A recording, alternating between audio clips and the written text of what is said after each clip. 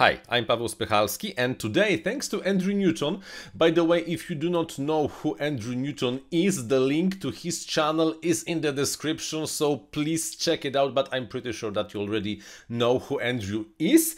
I have an opportunity to have a fully impartial, because the thing is not sponsored by anyone besides the Andrew Newton, we can take a look at the Ford contender in the 2020 long-range 2.4 gigahertz radio module competition shootout thingy. Because today today I have the SIYI SIYI or however I'm gonna call this thing is the SIYI you see here it's a SIYI FM30 transmitter and uh, the FR mini receiver 2.4 LoRa long range and they say it's good up to 30 kilometers so it has to be true radio module. Okay, we have some cables. We will not be looking at the cables. And what we're gonna do today is we're gonna take a look how this thing is built, what's inside, and then probably in the next video I will even connect this to my long range testing and do the standardized walking around my the place where I live. So let's begin. The plan for today's video is first let's take a look at the receiver uh, FR Mini and as you can see this is the diversity or actually antenna diversity receiver. Uh, because let's focus. Okay focus Okay, because there is only one chipset and they bother to scratch off the markings. Uh, I have really no idea why everybody scratches off the markings when the only radio chipset on the market that allows you to pull this kind of stuff in the 2.4 gigahertz range is the Semtech SX 1280 or 81 but they differ only very slightly and are actually hardware compatible with each other. And we have this chipset over here which probably is some kind of the switcher or power amplifier. Bear in mind we really have no idea of knowing uh, uh, how this is really connected and what's the real output power on the telemetry because the power amplifier or the switcher okay the power amplifier matters only for the telemetry downlink uh, because it will just bump bump bump up the power output from the Semtech SX1280 uh, to get the longer telemetry range. But about the details we unfortunately do not know much. What we know is that the both antennas are actually connected to this chipset Personally, I would put rather only the switcher, not really, and maybe some kind of the comparator, not really the power amplifier on the receiver, because the telemetry in this case is only a secondary case, and it's more important to have a good diversity than to have a high telemetry range. And on the receiver, what we have? We have three ports, which is out voltage and ground and probably there is not really much besides the serial port.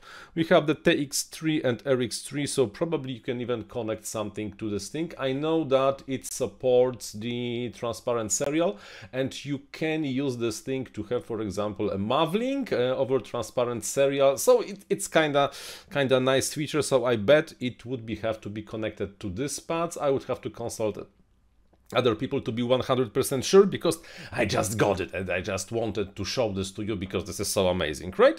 And on the other hand, we have the STM32F375. Uh, so if you really want to, you can probably build a flight controller on this thing and some additional pads, but this is pads over here are only for programming and we will not be looking at it. Overall, the build quality of the receiver, um, I'm not impressed, uh, but it's also not bad. I would not mind some kind of the glue applied to the antennas over here, so the antennas are slightly more tightly connected to the board, but besides that, the quality looks good. It does not look too cheap and uh, it was built probably in the 30s second week of the 2020. So this is the receiver part. The transmitter. Transmitter and the antenna, of course, we have the SMA. And uh, the plastic has this nice satin finish. I think this is uh, this plastic covered with this rubbery thingy layer, which almost always uh, gets off after a year or so of usage, and then it's sticky. So I, I do not like this this kind of rubberized plastic because then it just looks amazing.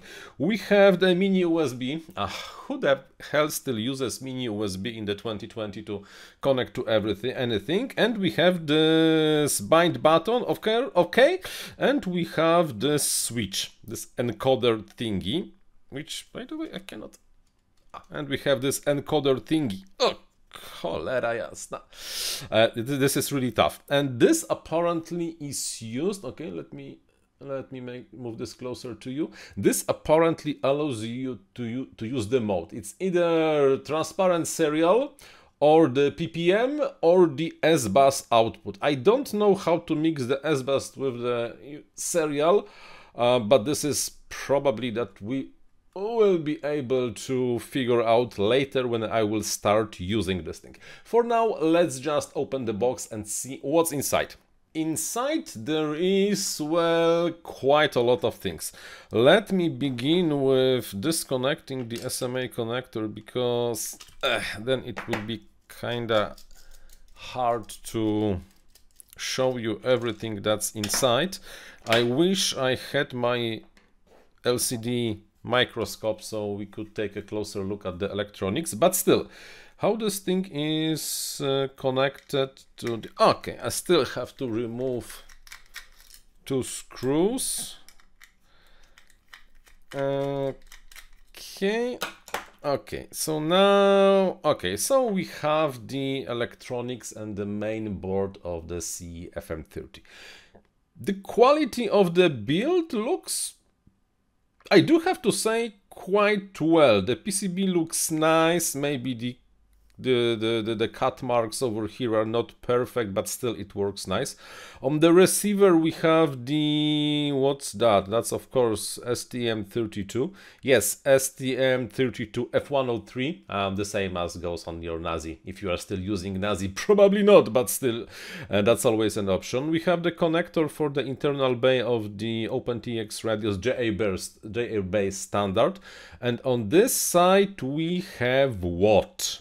We have this additional board that is soldered. Ah, this is soldered. Well, too bad.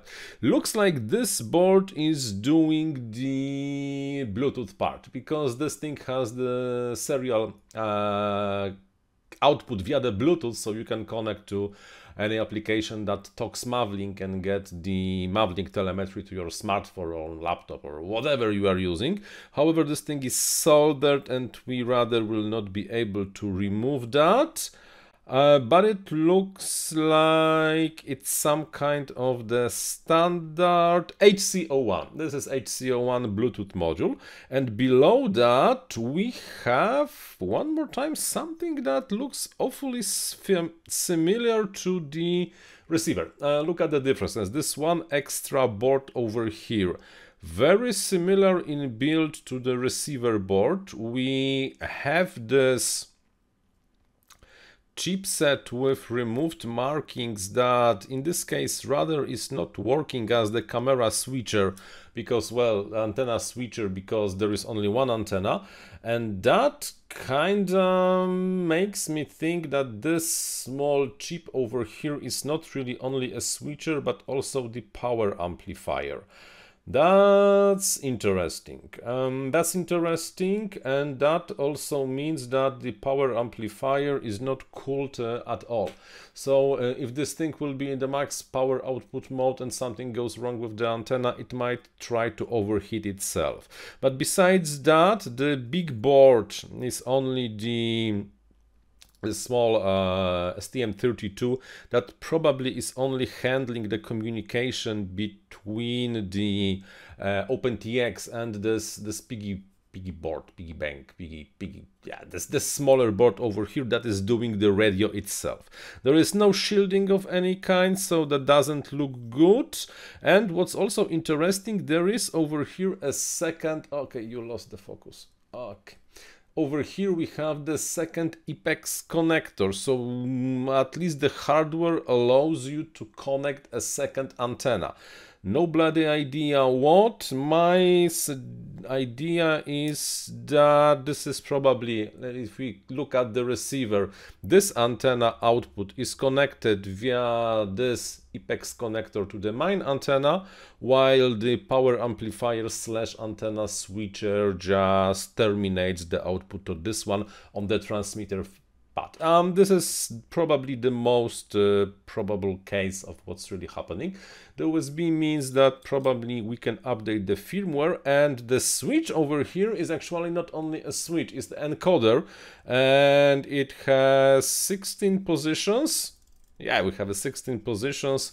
I wonder why they used something like that instead of the of the switch Come on, come on, come on, come on, focus again. So, interesting choice. Um, I'm not sure if this is better, this, this encoder 16 position switch or some of the smaller switches. Really hard to tell what's inside. But inside, besides all of that, the hardware looks legit. Um, it's cheap, um, because clearly this is not the highest quality hardware ever built and uh, the lack of actually lack of the RF shielding of any kind is kind of problematic. Oh, by the way, if you are worried that the Bluetooth will interfere with the transmissions because both Bluetooth and this radio is on 2.4 gigahertz, then worry not. This is not something that's happening because this thing is using LoRa and LoRa is not affected by the FSK modulation. So even if there is a low power Bluetooth transmitter over here, the fact that this is our LoRa kind of does not really interfere with each other because those are completely different kinds of the modulation and it should be fine. And I think we will end this video over here because I don't think there is much else to, much else to show you. I have not connected this yet to anything, but we'll do it and in the next video we will probably do the standardized walking to check how this thing works. I'm, however, slightly optimistic about the range possibilities because for me, I think my suspicion is that this thing was built with the range in mind. That means that the configuration on the LoRa modem is set for the higher range and the higher sensitivity and the higher uh, error correction than the low latency. So probably this is not really fast and I doubt it can go faster than 50 Hertz and probably even that is quite a lot. Uh, but instead is very sensitive on the receiver and can do kilometers and kilometers and kilometers of the range, but we will find out about this later. So for now, it's all for today. Thank you very much for watching and until the next one. Bye bye.